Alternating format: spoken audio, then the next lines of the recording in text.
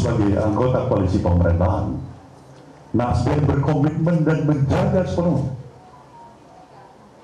agar perjalanan daripada seluruh prestasi yang dicapai tidak terusakkan oleh satu dan lain hal. Kami bersyukur juga bahwasanya sikap pemerintah jelas bersama dengan Dewan Perwakilan Rakyat, bersama dengan delapan fraksi yang ada di DPR RI menyatakan kesepakatan untuk lebih memberikan ruang, mendukung, mempertahankan sikap profesional terbuka.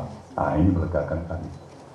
Jadi di luar sesuatu yang barangkali kemampuan akal sehat kami, kalau memang terjadi sebaliknya, dan kami bisa menyatakan prediksi kami, mudah-mudahan kami salah, mudah-mudahan Demokrat dan Nasdem salah ancaman stabilitas jangan sempat terjadi.